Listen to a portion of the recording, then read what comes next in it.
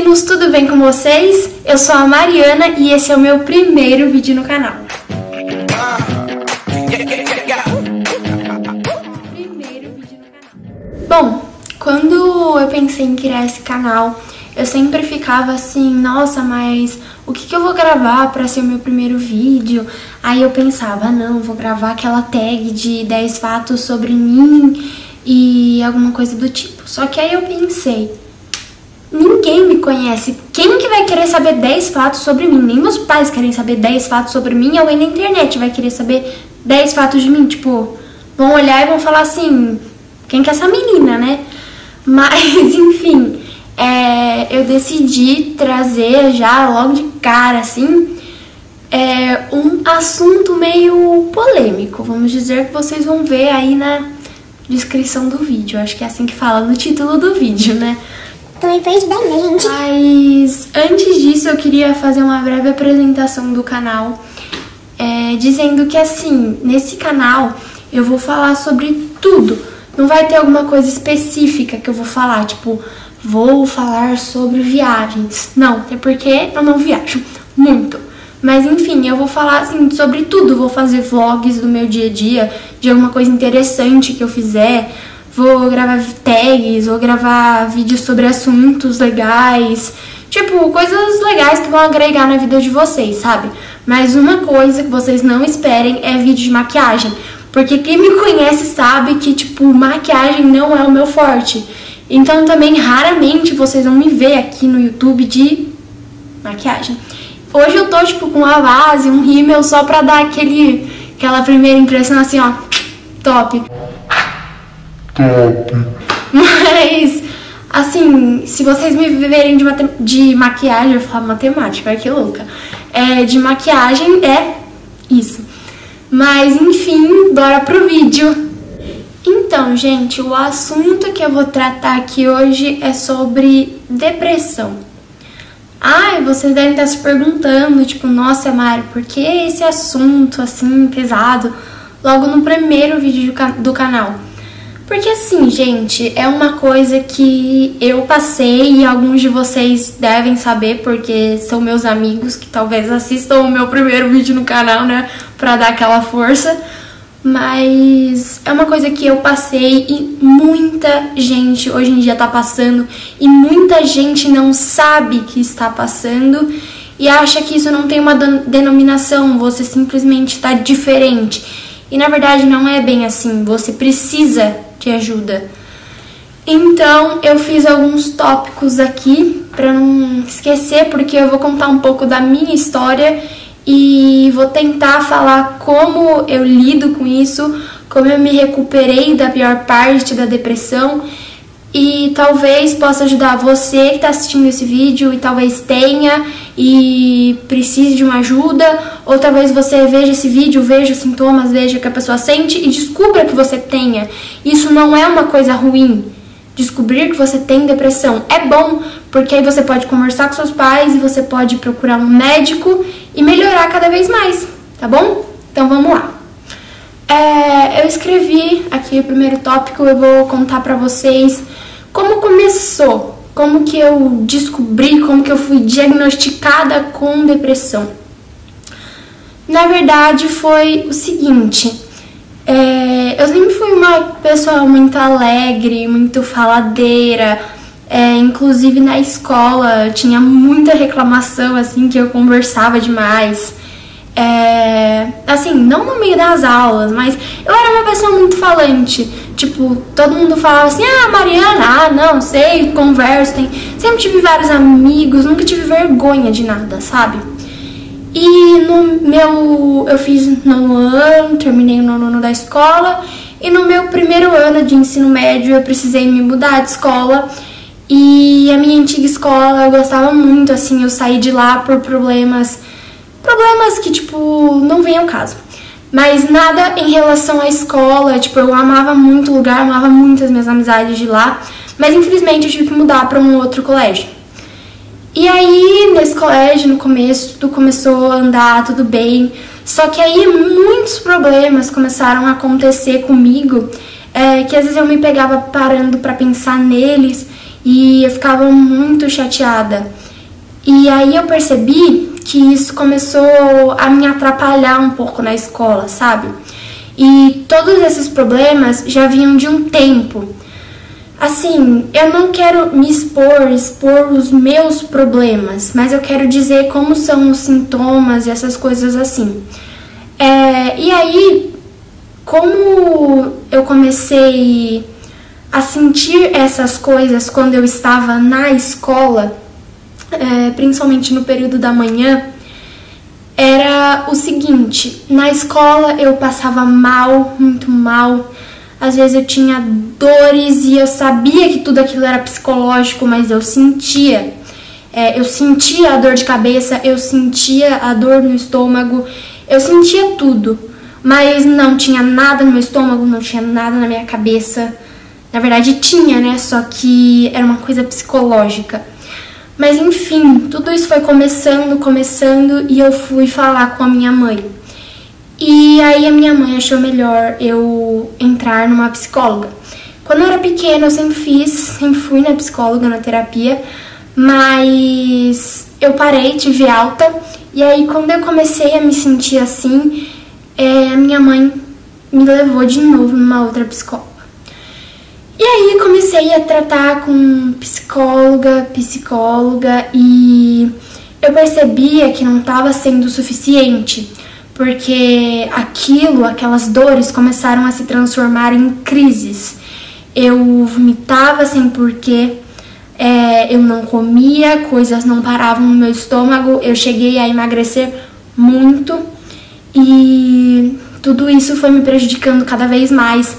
E não tem como eu falar pra você, foi isso, teve tipo um porquê. Não, não teve um porquê. Foram várias coisas, várias coisinhas que foram juntando, juntando, juntando. Então não dá pra você saber por que ela começou. Claro, tem gente que sabe, tem gente que sabe, mas no meu caso eu não sabia o porquê de tudo isso ter começado. Não teve um início que eu falei, olha, foi isso, foi ali. Opa, quase derrubei o celular. Mas enfim, essas crises começaram a ficar cada vez pior e elas eram sempre na escola. É, por motivos de, eu não sei porquê, não tenho motivo de ser sempre, é, sempre naquela, na escola. E é uma coisa que eu tento descobrir até hoje, mas ainda não consegui. E aí eu acabava tendo que sair no meio das aulas. É, meus amigos vinham me perguntar o que tinha acontecido e eu não gostava de comentar com ninguém sobre isso. É, só que aí a coisa foi se agravando e a minha psicóloga e minha mãe acharam melhor me encaminhar para um psiquiatra. E aí, nesse psiquiatra, é, eu fui, contei tudo o que estava acontecendo e eu comecei a tomar remédios em doses fracas. Só que tudo isso ainda continuou por um tempo, aumentou a dose do remédio, até que uma hora estagnou e tá assim até hoje. Mas as crises, assim, elas continuavam e elas eram muito fortes, a ponto de chegar uma época que eu acordava de manhã e as crises já começavam em casa. Eu não aguentava ir para a escola porque eu sabia que se eu fosse lá, eu ia chorar, eu ia vomitar, eu ia acontecer um caos na minha vida, aqueles pensamentos na minha cabeça. E o que isso me gerou? Gerou uma fobia da escola. Mas eu vou explicar aqui direito, tipo, o que aconteceu não tem nada a ver com a escola que eu estudava. É, muita gente vai saber que escola que é que eu estudava, mas enfim, não tem nada a ver, não tenho nada contra a escola. Eu gostava muito da escola, muito dos professores, muito dos meus amigos. Só que para quem tem uma uma síndrome do pânico igual eu tinha, quando acontece em um lugar mais de uma vez, frequente, esse lugar, você começa a ter fobia desse lugar, você não consegue entrar mais naquele lugar. E era isso que estava acontecendo comigo.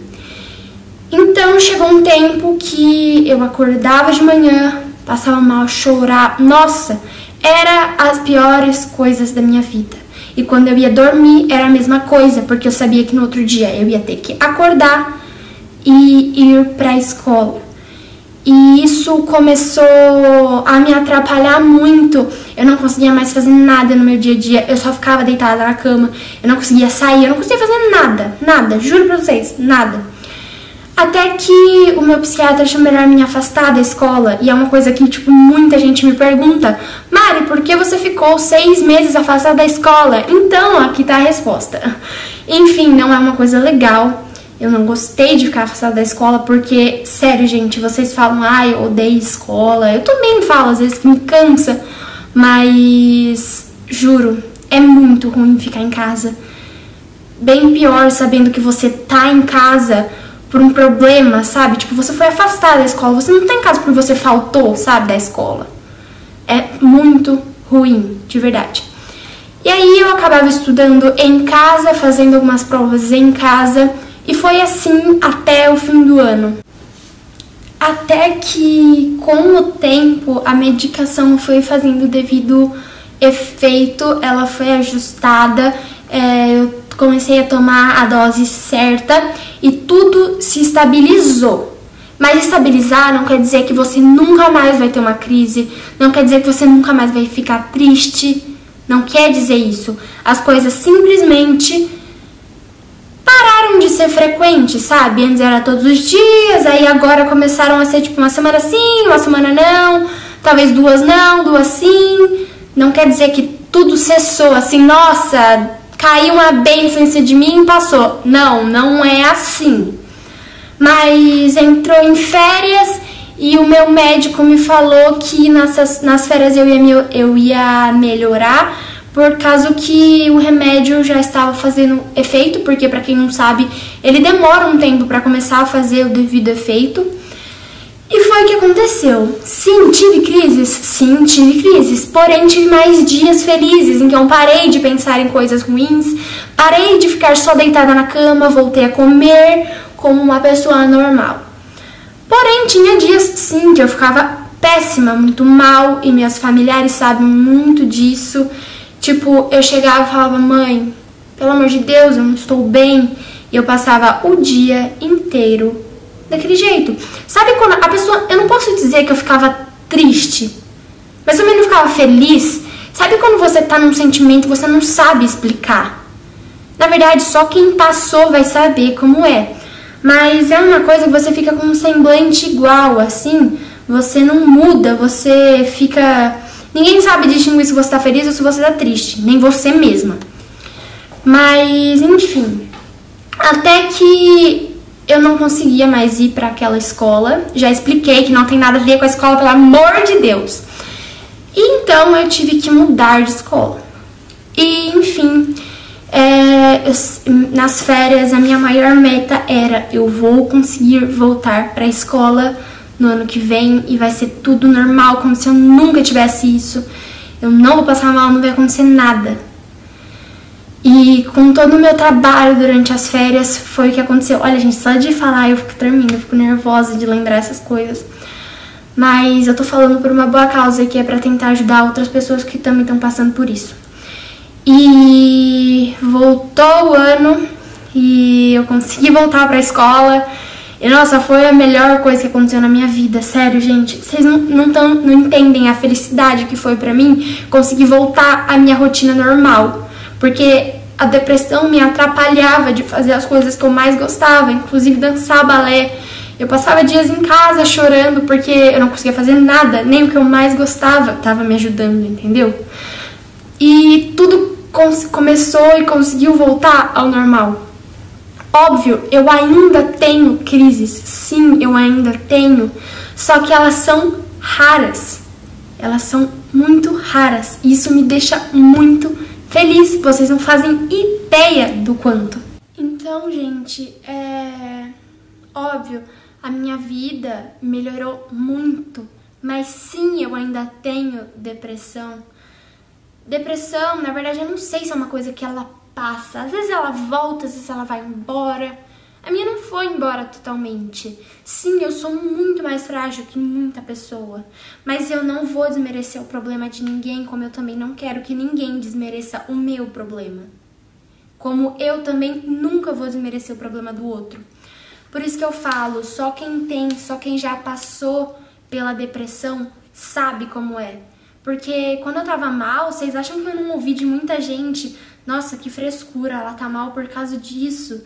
Nossa, que frescura, ela tá chorando por causa disso. Eu ouvi e muito, muito, muito, muito. Mas eu sei que se eu ver uma pessoa no lugar que eu tava, eu vou fazer de tudo para tentar ajudar ela, porque eu sei o quanto é ruim passar por isso. Não, eu não desejo para ninguém.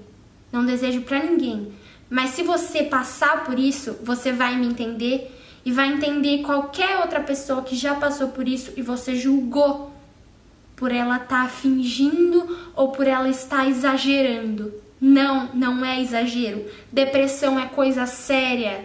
Por isso que é chamada a doença do século, porque muita gente tem, só que não mostra porque tem medo de comentários como esse, de ser dito como frescura. Então não, não julgue ninguém pelo seu problema, não ache que o problema do outro é maior que o seu, porque não é.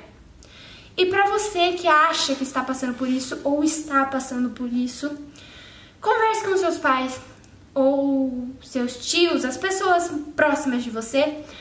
Uma dica, não converse com amigos. Sério, de verdade.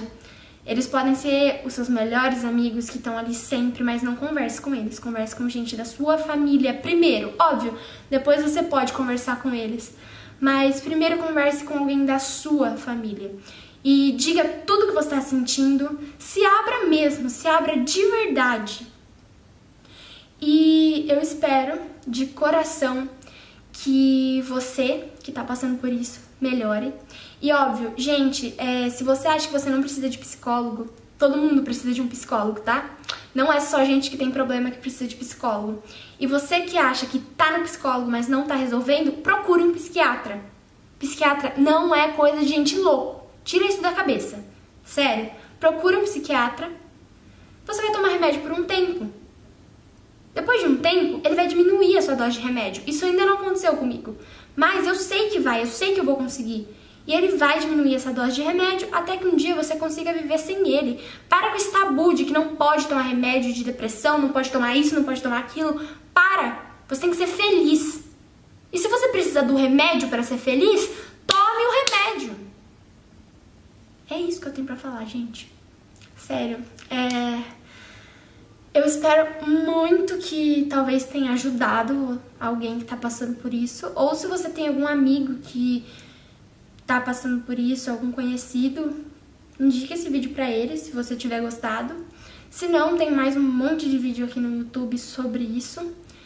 E se quiserem, pode me mandar perguntas ou vou deixar minhas redes sociais aqui também, se vocês quiserem, tipo, mandar anonimamente assim, porque aqui acho que no YouTube aparece quem mandou a pergunta.